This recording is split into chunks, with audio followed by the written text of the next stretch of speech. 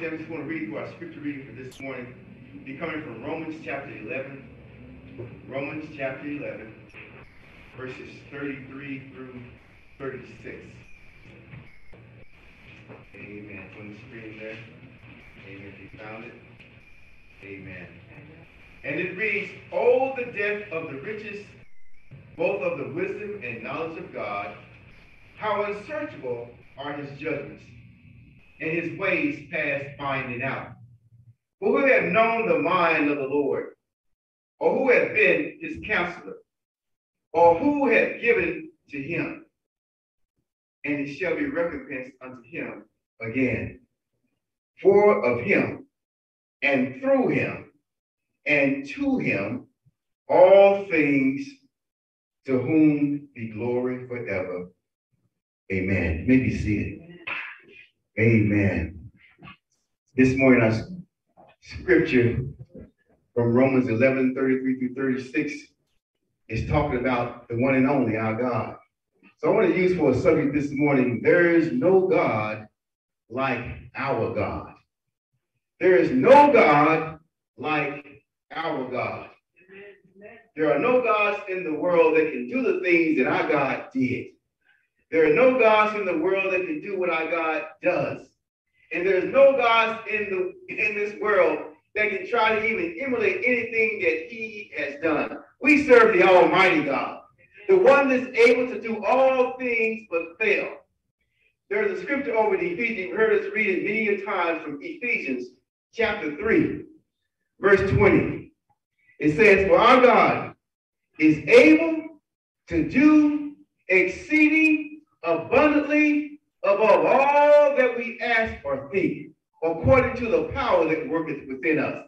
So that lets us know there is nothing, absolutely nothing that our God cannot do. His power is working on the inside of us. The Holy Spirit is present within us. And so we're able to go forth and we can ask God things. And the things we're even thinking about in our minds, God already knows about it. And so we can come to him and know that he's able to work all these things out for our good. As we look at the things of the world today, as we see what's going on all around about us, we know that we need God's help. The war going on in Ukraine now is happening. The people being ravished right now.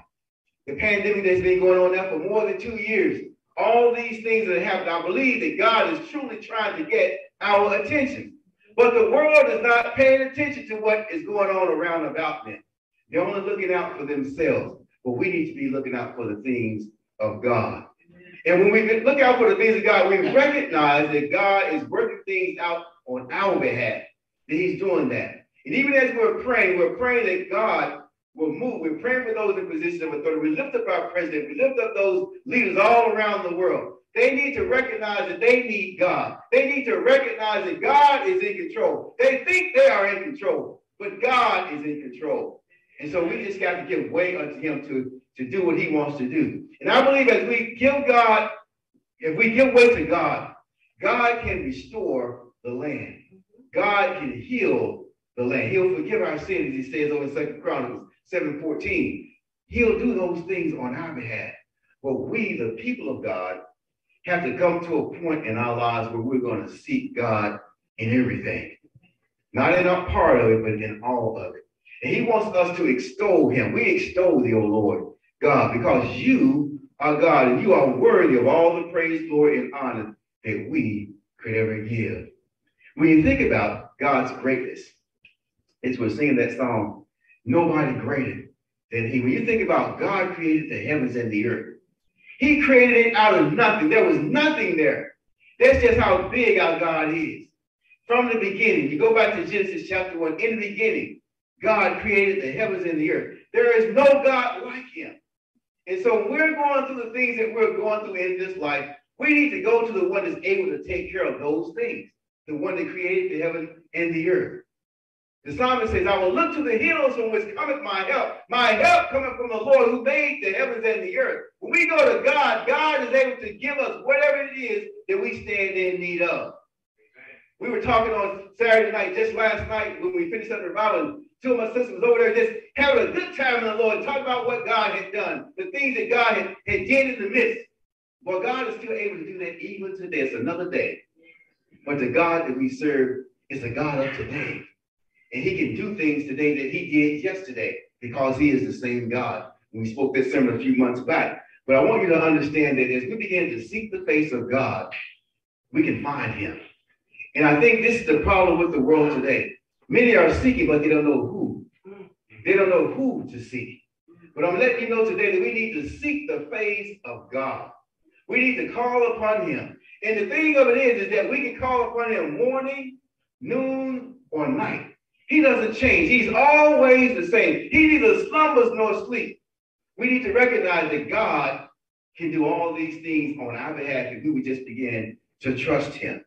And so as I'm looking at these verses, verse 33 says, all the depth of the riches, both the wisdom and knowledge of God.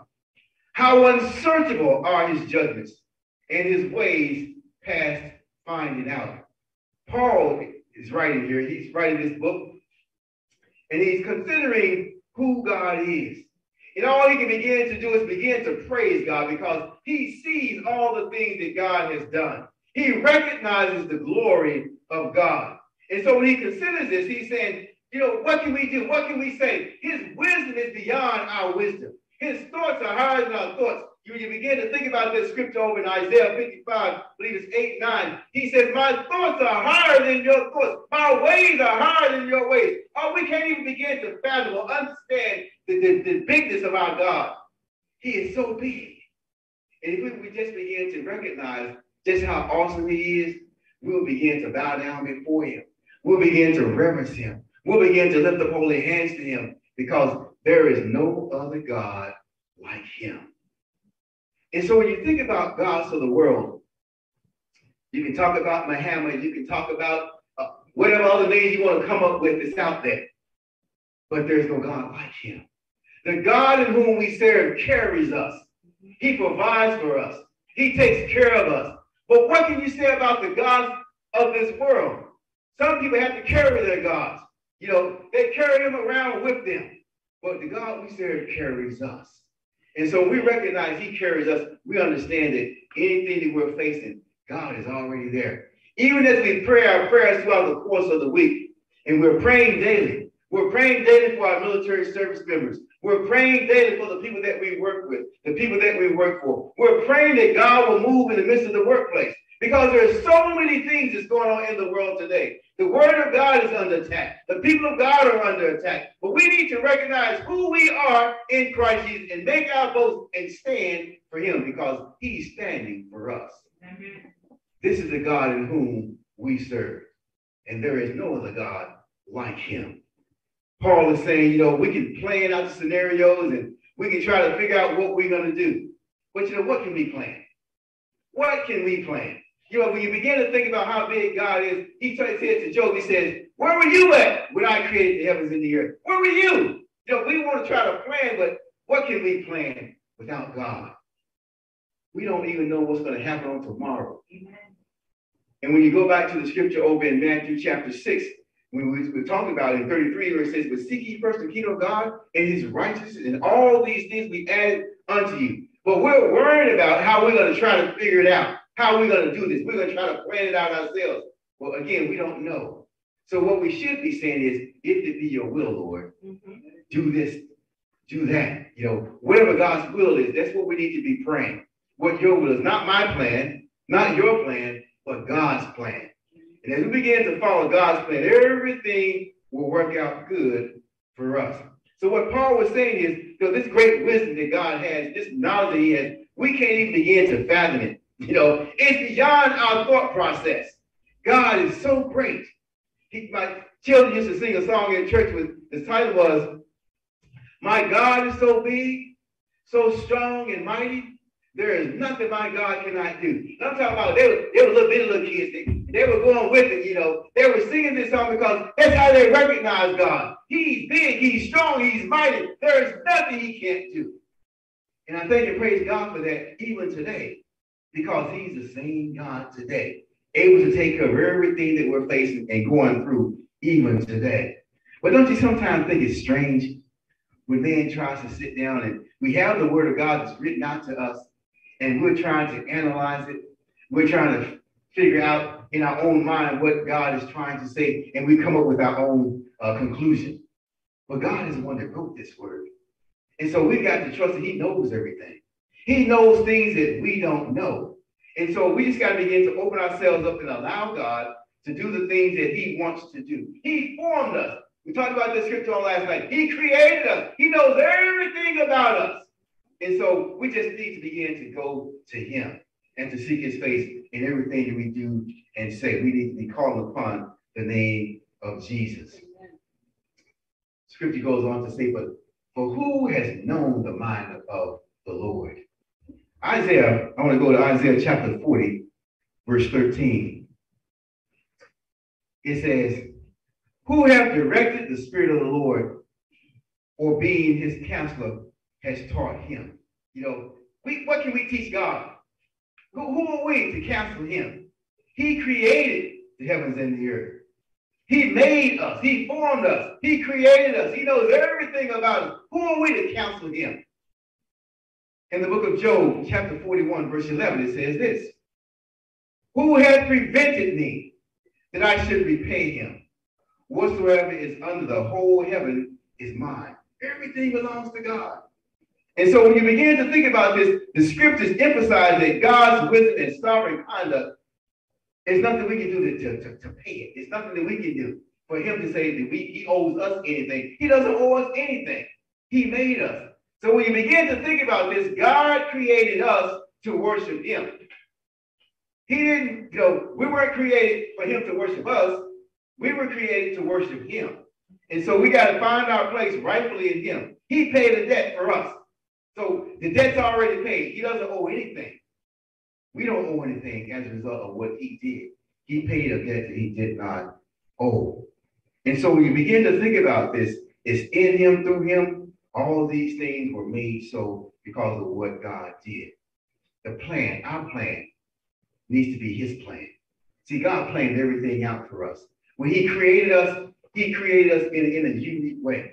None of us are the same, but yet we're all part of the same body. We've given our life to Jesus Christ. You may be white, you may be black, you may be a Korean, you may be American, but in Christ, we are all one in Him. And that's how we had to begin to see ourselves.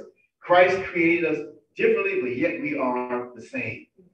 And so we recognize that fact, we can come together, we can fellowship one with another. You know, I thank God for the members. They come here from Sunday to Sunday, from Wednesday to Wednesday. You know, and it's just ironic when you begin to look out and you think, man, it's not a black church. It's not a white church. It's not a Korean church. It's God's church. And so we have to come to the point of realizing if we're going to worship God in spirit and in truth, we got to be loving towards one another. We have to see each other the way God sees each of us. And again, He created all of us. He knows everything about us. And when you think about it, He says, we are unique. We are wonderfully made, is how the scripture says it we, we are blessed. We're, we're highly favored in the sight of God. And so I, I thank God for being who he is in our lives today. Just think about the world we live in. Man didn't make this world. Man didn't form this world. Man cannot create anything. Man can only make something from something that's already been made.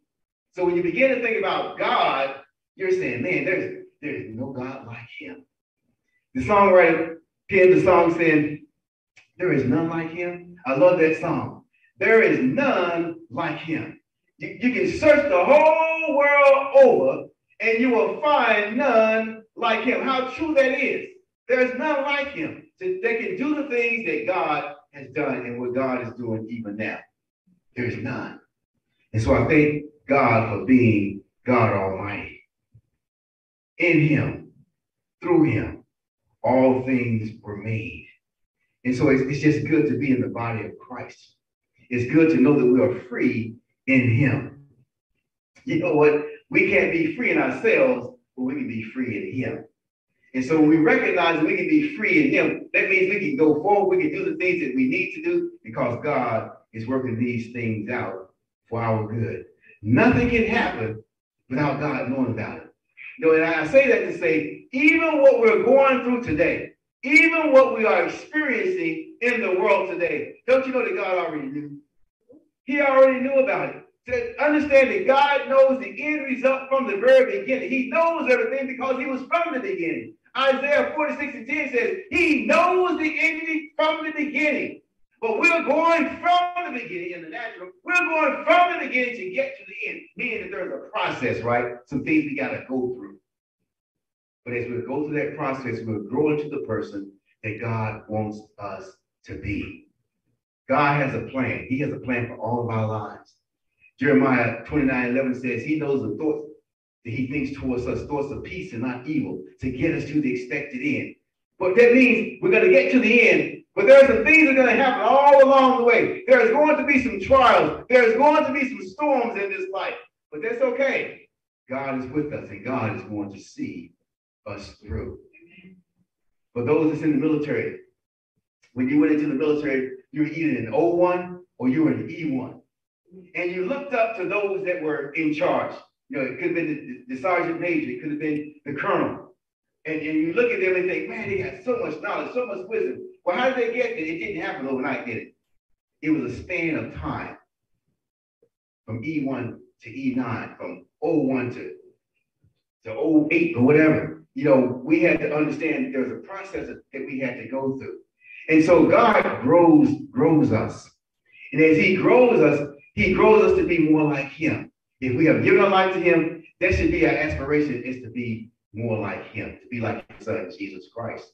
And so when I'm talking about military, and I think about when I was in O uh, in E1 and going through the ranks, there were certain things that your sergeant did because he was a supervisor, right?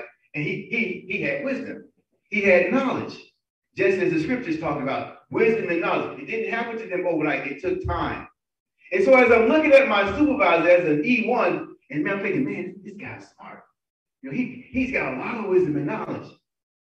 But one day I was going to have to replace that supervisor, right? As you're going through the ranks, you're going to grow. And so you're thinking in your natural mind, I, I can't do this. I could never stand before people and speak before. I can't, I can't look at somebody eye to eye, you know, without backing down. But over time, you grew into that E5, that E6, that E9. You, you grew into that chief. You grew into that sergeant major. You grew into that general. It all took time but it's because of God's wisdom and knowledge that has been imparted to us that we're able to go forth and do the things that we do. So it's all because of Him. Understand if it was not for God, we would not be where we are right now. And when I saw this subject, when God gave it to me, he says, you know, there is none like me. In all the earth, there is none like him. And so I began to think about the goodness of God, the greatness of God. And I began to think about the creation. You know, when you go back to Genesis, you think about it was it was it was dark, it was void. But he created, he spoke things. He spoke it to be so. This is just how awesome our God is. You know, I say awesome because I can't think of any other words, you know, in, in our English language. You know, there's nothing really to explain how God, how big our God is, how great our God is. We can say we're amazed, we're astonished. None of them do justice because of who God is. But when you think about the things that he did in our lives, and we see the bigness of our God, we see the awesome power that he, that he has, we begin to say, there's none. There is none like him.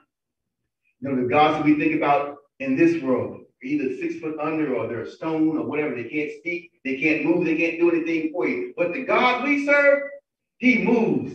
We see his creation. And we should magnify him because of his creation. We magnify him because he is the creator of the creation. The problem with the world is they're giving more uh, precedence to the things of the world, the things in the world. God made it. So we should be going to him if we're standing in need of anything. God says he'll take care of it. And so we're trusting him to do that because he is God and there is none like him. Beside him, above him, there is none other like him and he is great. And he's greatly to be praised. I thank and praise God for being who he is in our lives. And we should serve him with passion. You know, we, we do a lot of things with passion. But when we begin to serve God with passion, like we just keep on going. We're like the ever, ever ready bunny. We don't stop. We just keep on going because our passion is for him. I remember our youngest daughter, both of our daughters played volleyball in college. And uh, our youngest daughter was pretty good at basketball. Actually, I thought she was going to go to University of Tennessee to play for Pat Summitt. But she said, no, I don't want to play basketball. I want to play volleyball. She says, that's my passion. And she, she played it very, very well. You know, so much so that when she got a little bit older, she wanted to try to keep on playing, but the body doesn't want to cooperate. And somebody was saying that just on yesterday, we get older, it, it's, it's hard for us to recover the way that we used to recover.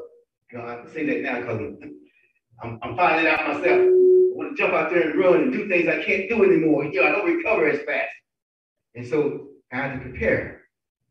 So what I do now, I, do a real damn Wingate. You know, loosen up that body to do the things I think I can do. But I'm saying is, if we would go to God, God can help us. God can do in us what needs to be done because He, he makes them all, you know what? God makes the difference in our life. Yeah. There are things that we think that we can't do, but God's saying that you can, and then He shows us how to do it. And we're saying, God, but I'm not as young as I used to be. I, I can't do this. But God says, I, got a, a, remedy for that. And if we just begin to seek out God's face, He will show us what we need to do and how to do the things that need to be done. I'm telling you again that there is no God like our God. He knows how to take care of us. I think about the, the, the children of Israel when they were in Egypt for those 400 years of slavery and how God brought them out and how he gave them manna from up above and how he gave them water and how their clothes didn't run out in all those years they were running around in the desert. God took care of them. That's how big our God is. That's how mighty our God is. He opened up the Red Sea. They walked across on dry ground. And you begin to think about the things that God did. There is no God like him. There is no other God like him. He can do these things. And so we just got to begin to trust him. As we trust him, we recognize just how good God is.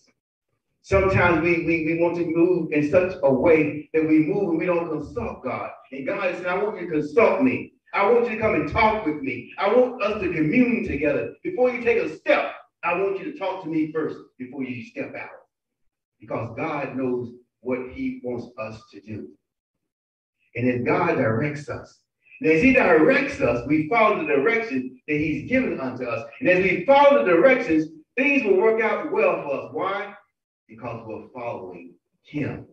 Meaning that we're trusting him. And if we're trusting him, he's going to take us places because he knows we trust him. He can depend on us. Well, God is saying, I want you to depend upon each and every one of you today. All of us. He's counting on us to go forth to do his blessed will. So he's entrusting us to do that. And now we got to say, God, I'm trusting you, and I'm going to go out there with passion and do the things that you have called me for to do. Even if I can't see my way, I know that you're going to show me the way. Yeah.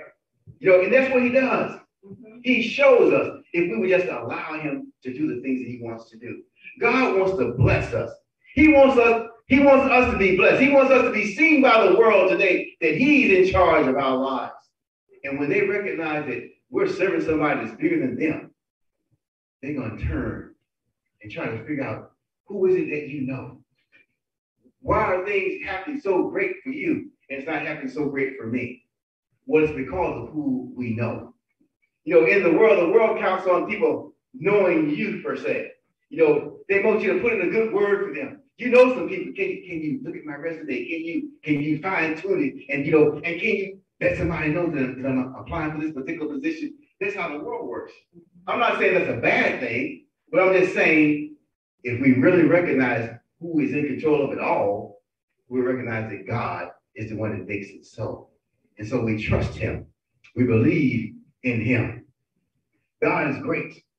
God is great. He's greatly to be praised. You know, I, I, keep going back to the revival because things happen. Uh, some, something happened in the midst of the revival. And I remember, I think it was on Thursday night when Pastor Lopez spoke. He spoke out a word. He spoke out a word. He was, it was like he was prophesying about this person. He called out that person's name. And he says, he called a name out and said, God got something for you. You know, he's got a job for you. This is the fourth time you're trying to get this job. He didn't know that person.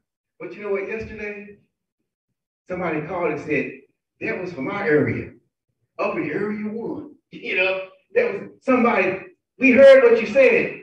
He didn't know who the person was. But they said, I want you to know how big God is. That person got that job. You know, God is working. And so God confirms his word. God confirms his word. This is just how big our God is. He doesn't want us to go out there with, with no confidence. He wants us to go out there with confidence.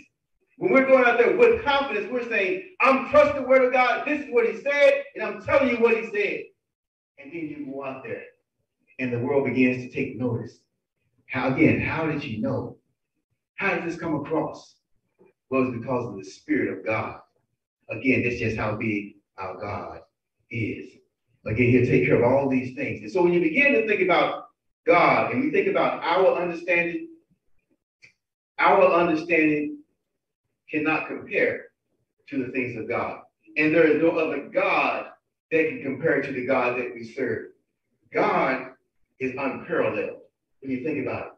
There is nobody like him in all the earth, the songwriter said. There's none. And so when you begin to think about God's thoughts are higher than our thoughts, his ways are higher than our ways, we can't even begin to, to fathom it. You know, it's like, man, how, how can this be? It's because of the bigness of the God whom we serve. Sometimes in life we get tired. We get physically tired. We get emotionally tired.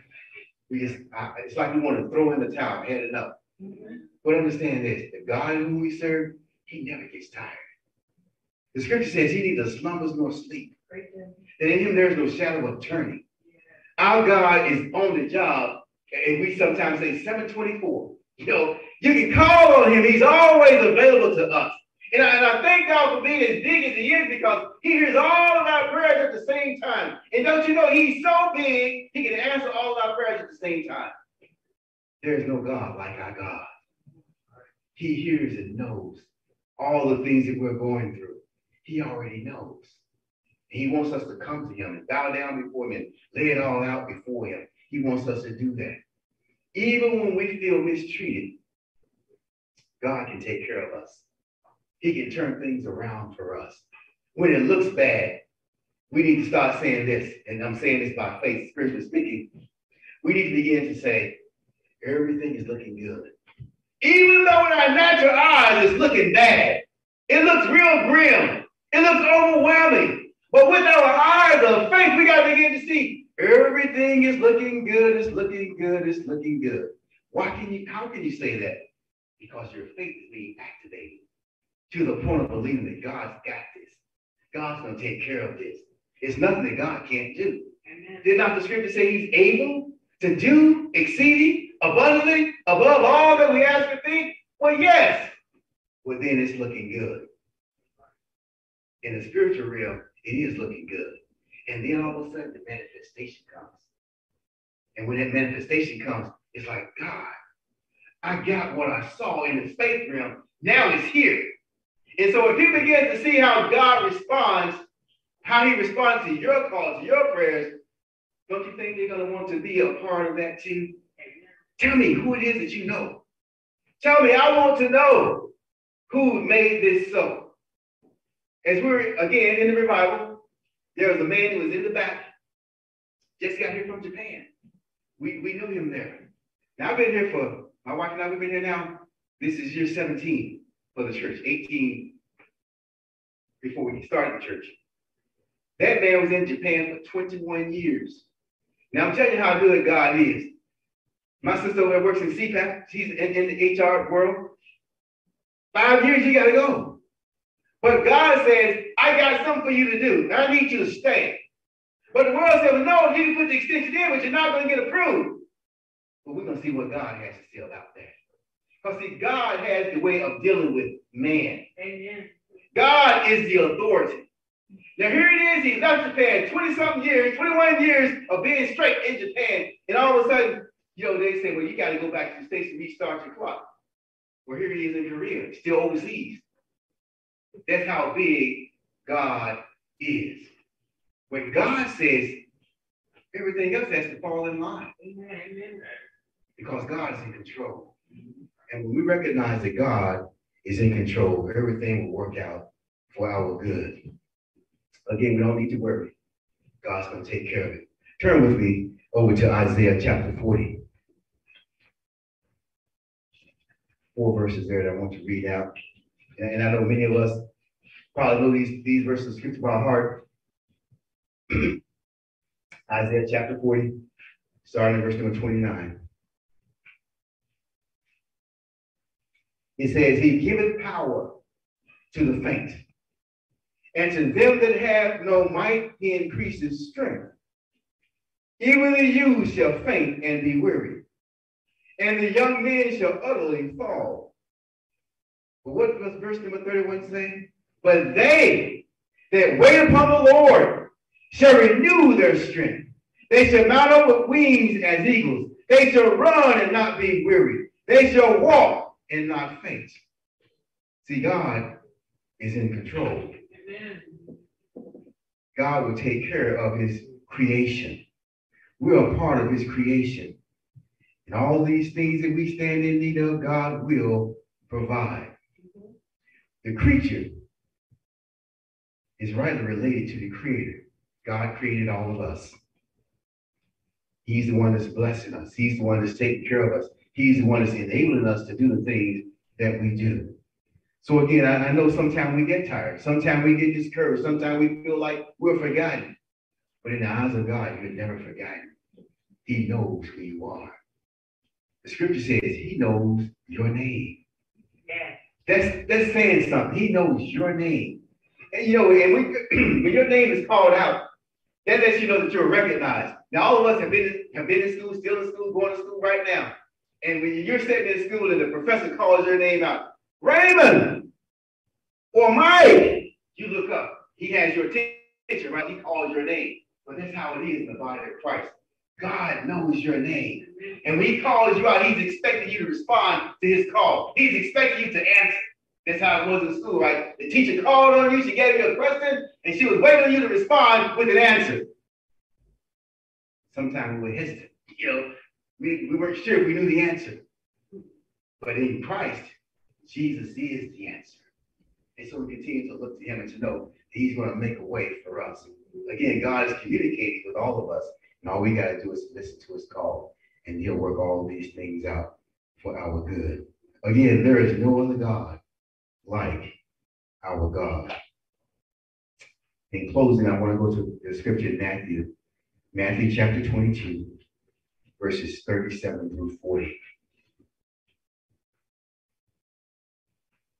And it reads Jesus replied, Love the Lord your God with all your heart, and with all your soul, and with all your mind this is the first and greatest commandment.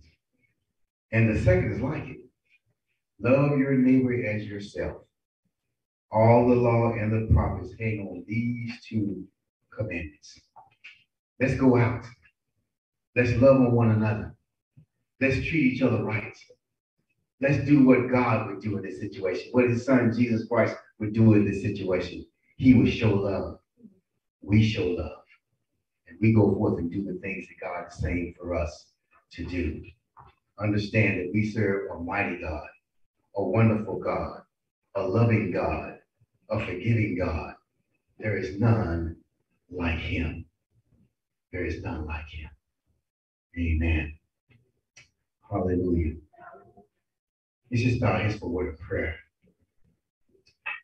Hallelujah, God. Father God, we come before you right. We thank you we praise you. We thank you for being our God. We thank you for being our Lord. We thank you for being our Savior. God, no matter what we may face in this world, oh God, we know that you are greater. There is no other God like you, God, in all the world. And so, God, we come before you right now, God. We bow down before you. We lift up holy hands in the sanctuary, and we say, Bless, bless ye the Lord. God, for your worthy. God, I thank you right now for being the Alpha and the Omega. I thank you for being the beginning and the end. I thank you for being our all and all. God, I just pray right now that you have your way in our lives. Father, despite all the things that's going on in the world today, God, we can look to you and know that you are in control. Nothing happens, oh God, without your knowledge. Nothing happens, oh God, without you knowing what's going on. So God, I thank you for being the all-knowing God, the all-sufficient one, the all-powerful one. God, you are all that we would ever need and more. So God, we trust you today. We say, have your way in our lives even the more. God, we pray for all of our family members, God. We're praying right now, God, that they all will be saved in Jesus' name. That's our prayer, God. We don't want to see anyone left behind, God. We want to all be called up to be with you. And so, God, I just pray right now that we go out and we share your word, the gospel of Jesus Christ, the good news that the world needs to hear today. That they can make that informed decision to follow after you. God, have your way today. In Jesus' name. God, I thank you. I thank you for all that you've done. I thank you for what you're doing right now. And I thank you, God, for the things that you shall do. If you allow us to live any longer, God, the things that you shall do in the midst, God, have your way. God, I pray right now, in Jesus' name, that we come together and we allow you to do in us what you want to do, God. That we can walk forth in freedom, walk forth in liberty, no longer bound, oh God, but being set free by you. God, to walk in it in Jesus' name. God, I thank you for all of the many, Father God, the jobs that we have, God. Father, the things that you have blessed us with, our homes, God, our security in you. Everything, oh God, that we have is because of you. It came through you. It didn't come through us ourselves. It came through you. So I thank you and I praise you for that today. And I say, have your way even more. God, I pray for that person right now that may be unsaved right now, God, but all they need to do is to make a confession. Father, with their mouth, the Lord Jesus, and believe in thine heart that God has raised you from the dead, and they too can be saved. They can have that, that confidence in knowing, oh God, that when you come back, when you burst through the sky, Father, when you call us up to be with you, they too can be in that number. God, I pray that you have your way in Jesus' name. God, again, I pray for everyone that's here in the sanctuary, for those that's on the air right now, God. I pray that you move by your spirit in each and every one of us, God. That we will go, go forth with passion.